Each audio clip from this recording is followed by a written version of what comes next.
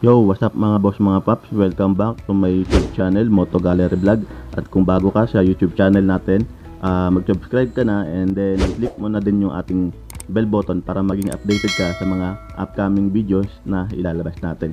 So, ito ang episode natin today mga boss mga paps. Ah, ipapakita ko sa inyo kung paano magpalit ng coolant sa ating Raider 150 Fi. So, bali ito ay request ng isa nating solid na subscriber So, nag-PM sa akin kung paano daw magpalit ng coolant at kung paano magbaklas ng radiator. So, yung radiator na to, hindi ko na maipapakita yung video kasi yung time na nag-paint ako, eh, hindi ko na siya nagawang i-vlog. Ipapakita ko na lang kung paano siya babaklasin. So, umpisahan natin mga boss, mga paps. Ito yung gagamitin natin, Freestone brand coolant ready to use. Bali, hindi na siya kailangan haluan pa ng tubig mga boss, mga paps. Bali, nabili ko siya ng 260 sa Shopee. So, dalawa yung binili ko. Kaya nasa 500 plus kasama na yung shipping fee. So, dalawa yung ginamit natin dito dahil yung total capacity ng ating cooling system is 1,260 ml. Kaya dalawa yung ating gagamitin dito. Bumili na rin ako ng distilled water sa Mercury Drugs. Ah, bali nabili ko siya ng 60 pesos yung 1 liter.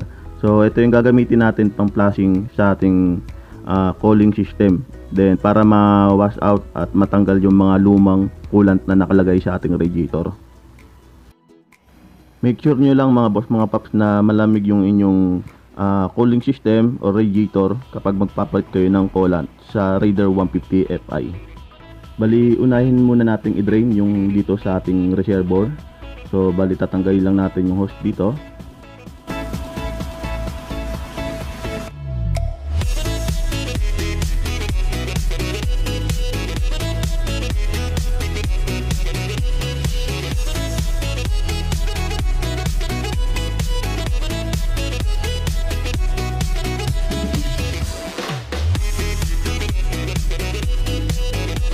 Ayan lang natin siyang tumulong ng tumulong hanggang sa maubos, no, mga boss, mga pop. Then, kapag ah, na-make sure na natin na wala na siyang laman at naubos na natin, ah, pwede na natin isunod yung drain bolt ng coolant dito sa may bandang engine. Ito yung drain bolt ng ating cooling system na makikita nyo dito banda sa ating engine. So, meron siyang copper washer. So, kaya madali nyo siyang makikita at matatandaan. So, tatanggalin lang natin yan gagamit tayo ng 8mm na socket wrench.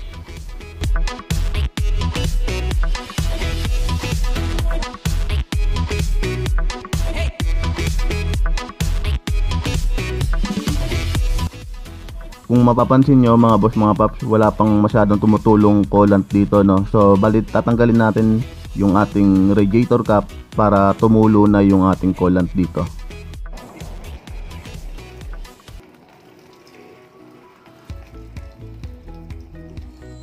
Hintayin lang natin na maubos yung coolant natin.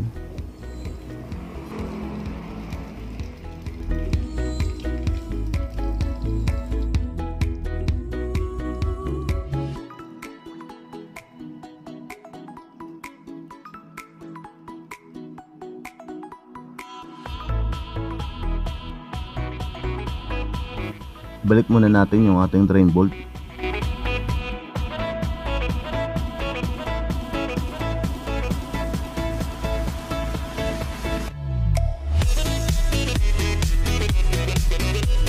Ngayon naman, ibalik muna natin itong reservoir hose natin. Then, lalagyan na natin siya ng distilled water. So, distilled water yung gagamitin nyo pang flushing, no? Mga boss mga paps. At bawal na bawal gumamit dito ng tubig sa gripo. Pupunuin lang natin siya. Then, ibalik muna natin yung ating radiator cap, mga boss mga paps. Then, i-warm up natin siya ng 5 to 10 minutes para ma-circulate yung ating cooling system at malinis ng husto yung mga natirang ah, lumang coolant sa ating radiator. So ayan, na-warm up na rin natin siya at hindi naman siya masyadong uminit. So pwede na natin ulit i-drain yung ating distilled water.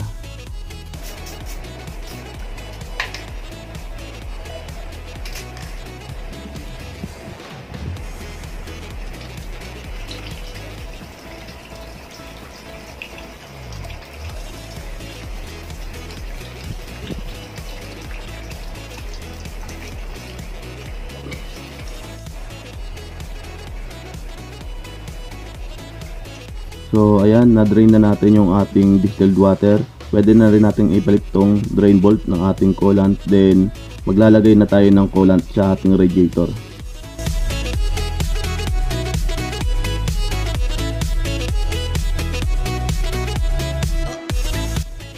So ayan mga boss mga paps, maglalagay na tayo ng coolant dito sa aking radiator. Then pupunuin lang natin siya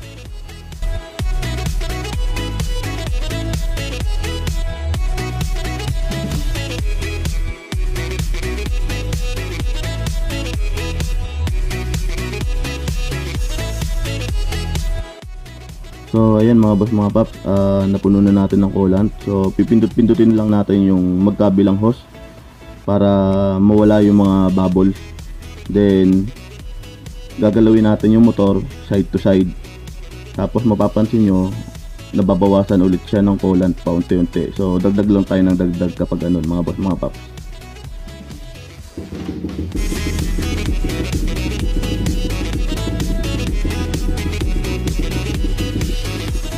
Ayan, nabawasan na naman siya. Magdadagdag lang ulit tayo ng coolant.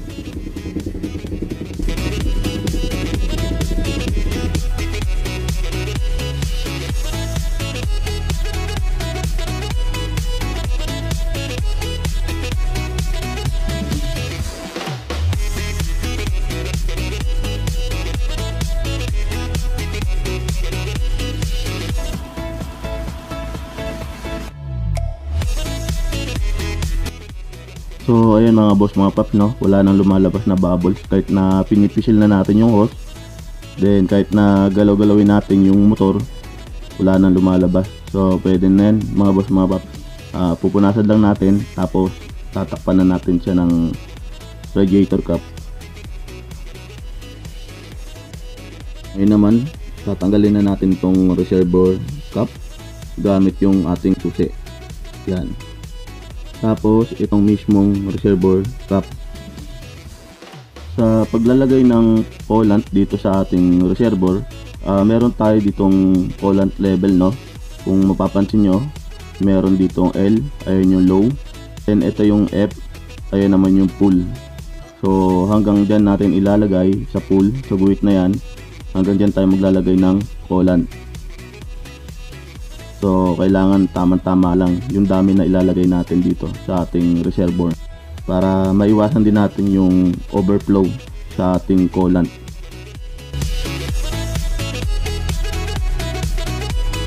Ngayon, bubuksan na natin yung isang coolant natin dahil wala nang laman to, no?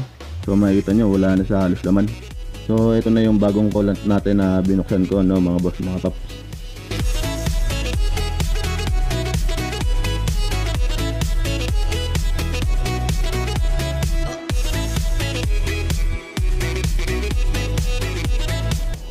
Ayan puno na. Pwede na nating ibalik yung ating reservoir cap.